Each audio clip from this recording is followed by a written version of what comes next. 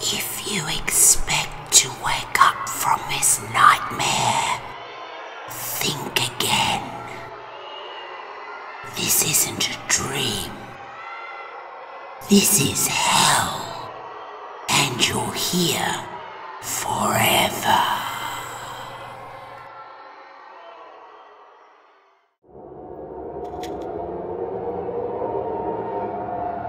manifested a.